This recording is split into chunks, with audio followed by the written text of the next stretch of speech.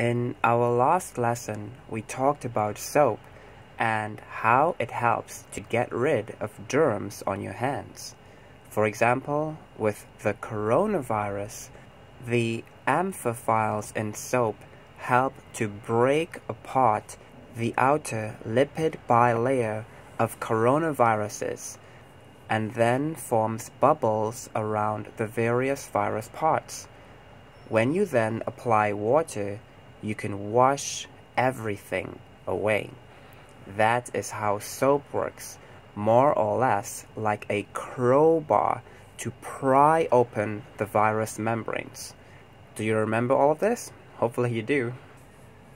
Hey, hey, hey, are you paying attention? Quiz time. Here's one question. A single drop of soap contains many blah blah blah.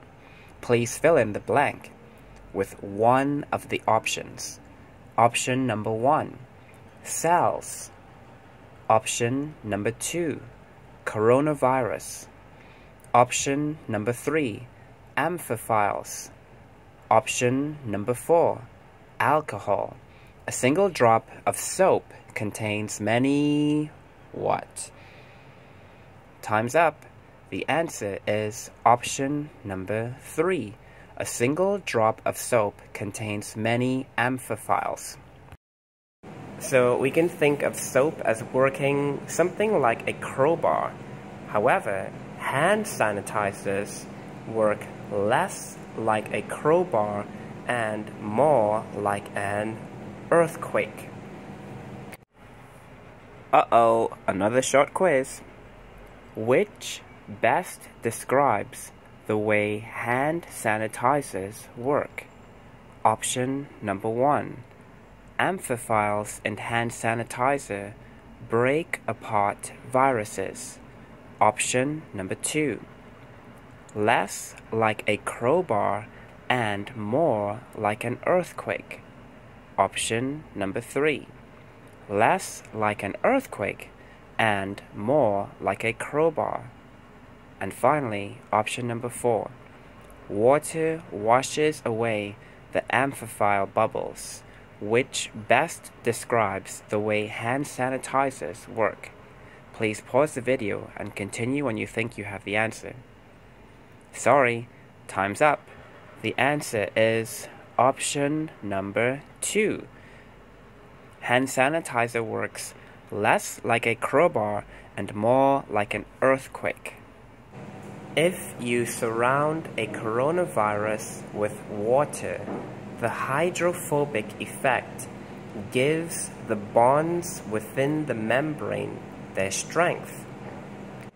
That same effect also holds the big proteins that form coronavirus's spikes in place and in the shape that gives them the ability to infect your cells.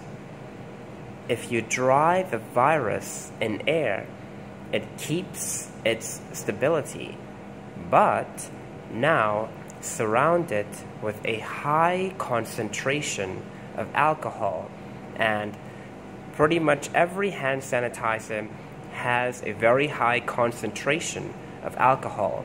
For example, ethanol or isopropanol are found in most hand sanitizers.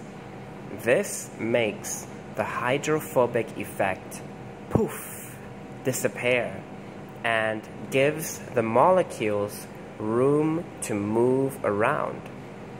The overall effect is something like removing all of the nails and all of the mortar from a house and then striking it with a powerful earthquake the cell's membrane collapses and those spike proteins crumble.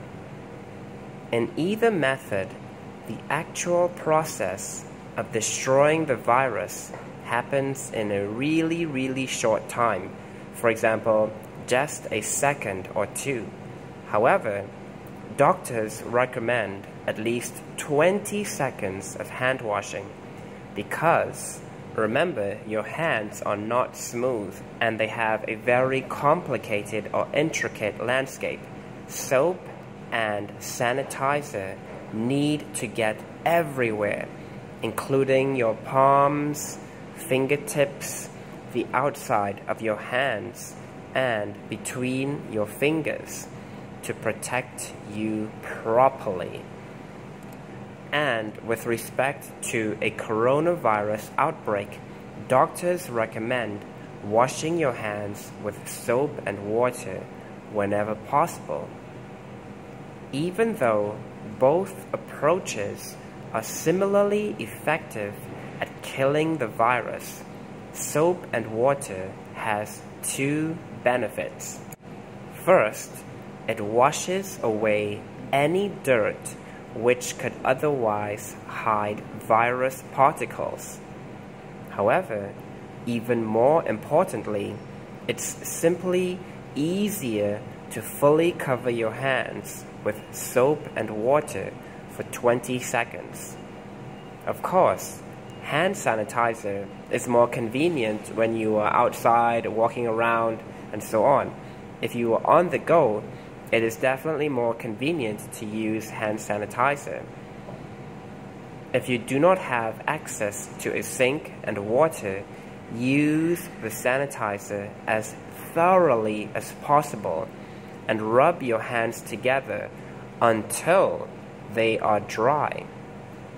Unfortunately, there are many people in the world, billions of people, who don't have access to clean drinking water. This is a huge problem at any time. However, it's an even bigger problem during an outbreak. Researchers and aid groups are working to provide solutions for such people and these communities. One example is a device that uses salt, water, and a car battery to make chlorinated water that can kill harmful pathogens and is safe for hand washing. So, whenever possible, soap and water are recommended for a coronavirus. But does that mean it's best for every viral outbreak? Nope, not necessarily. Many common colds are caused by rhinoviruses that have a geometric protein structure called a capsid instead of a lipid membrane.